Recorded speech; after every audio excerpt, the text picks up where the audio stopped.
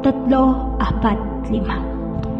Ilang araw, ilang linggo, at ilang buwan pa ba tayong maghihintay na bubalik sa dati at maging malayang tunay?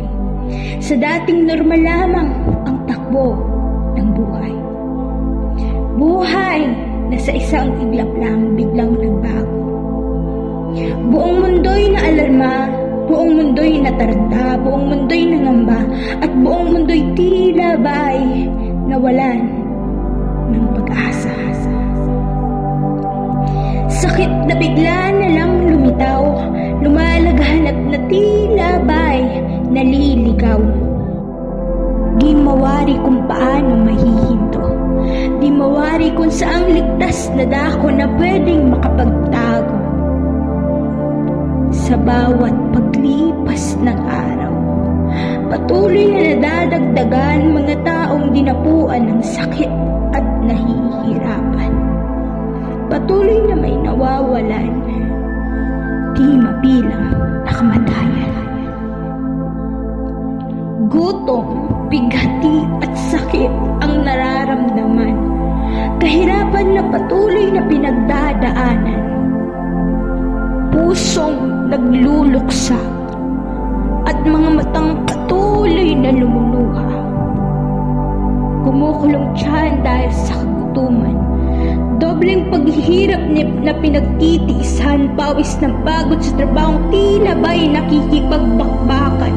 Binubuwis ang kaligtasan para sa pamilyang nasa tahanan. Mga tao'y humihingi ng saklolo. Sigaw nila'y saklolo, saklolo, saklolo. Sa pamahalaan at ahensya ng gobyerno. Ngunit sila'y bigo at lalong nagkakagulo. Mga pangarap ay nawala na parang bula. Mga trabaho'y nawala na ng bigla.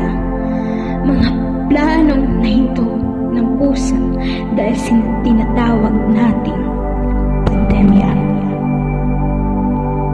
Maraming pagbabago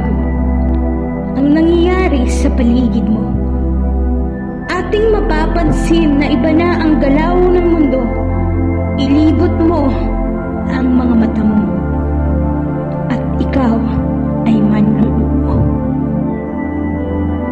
Sa iyong pagmamasid at pakikinig sa iyong paligid, patuloy kang binabalot ng takot. Negatibong isipin ang patuloy nitong naidudulot. Ngunit tama na, tama na, tama na. Pikit mo na ang iyong mga mata. Takpan mo na rin ang iyong mga tenga. Huwag mo nang pakinggan ang mga nangyayari sa mundo. Huwag mo nang pakinggan ang anumang mga issue. Palayain mo na ang iyong puso sa lahat mong nararamdaman na negatibo. Manalangin ka at magtiwala sa nag-iisang Diyos na ating tanging. Huwag kang mag-alala.